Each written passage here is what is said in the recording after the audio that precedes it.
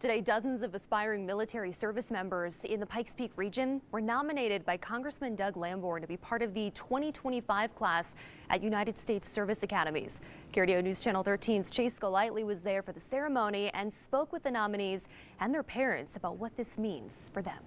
We have some of the finest young men and women in our community here today. One by one.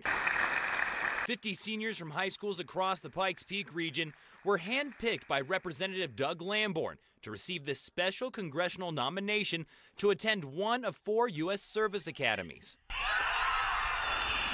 They show leadership, they're involved with different ways of helping other people, that they've made good grades, and they have a desire to serve our country. The process to get here wasn't easy, having to go through a rigorous interview and application process, all virtually because of COVID 19. But these students whose dream it is to be part of our military say all the hard work they've done over the years was worth it. Very grateful that I was given the opportunity to serve. This is a once in a lifetime opportunity and I really hope that this paves the way for more opportunities to come. Coming into it a little tense, a little, a little nervous about it, but I, I feel good, and it's, it's truly an honor to be here. Behind every student, proud parents who supported them every step of the way. He helped me prepare for some of the interviews. He drilled me with questions over and over again. More than anything, Anya has worked extremely hard to get here and, and to be successful.